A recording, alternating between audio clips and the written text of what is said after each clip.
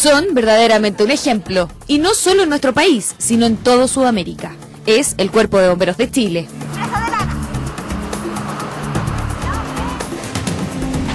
Imágenes como estas impactan, y cómo no, si un siniestro, por pequeño que sea, arrasa con todo lo que hay a su paso.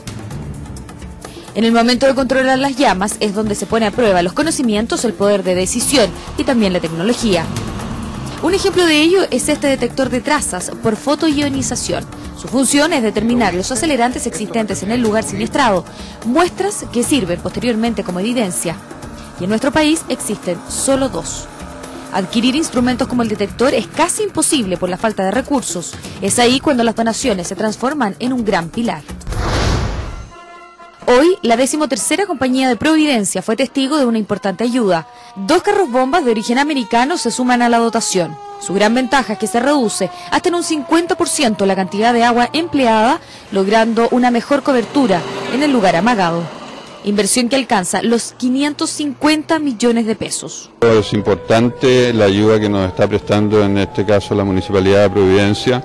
Hay que recordar que nosotros los bomberos siempre estamos escasos de recursos. Yo creo que una de las características de nuestro país es ser reactivo. O sea, cada vez que hay una catástrofe empezamos a preocuparnos de los problemas y la idea es anticiparse.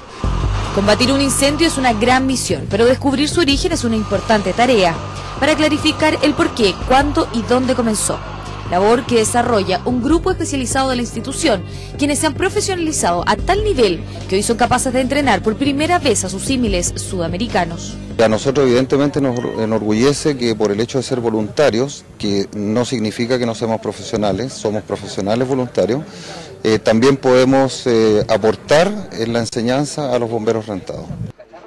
31 bomberos de Argentina, Ecuador, Uruguay, Colombia, Bolivia, Venezuela y Paraguay, todos reunidos durante una semana y en donde la teoría se practica. Los nuevos estudiantes se separan en grupo y tras analizar el lugar siniestrado se reúnen para plantear la teoría final.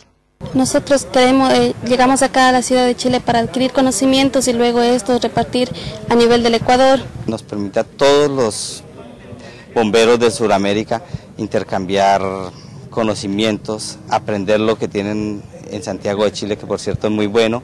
Una tarea ejemplificadora si se considera que estos voluntarios profesionalizados son capaces de entregar un alto nivel de conocimiento a sus pares remunerados. Con este comienzo, aquí en Chile vamos a poder tener oportunidades de mejorar y tal vez eh, tratar de imitar esta actividad que realizan. Un grupo que aprende de diversas experiencias, que disfruta del curso, pero también de la camaradería internacional.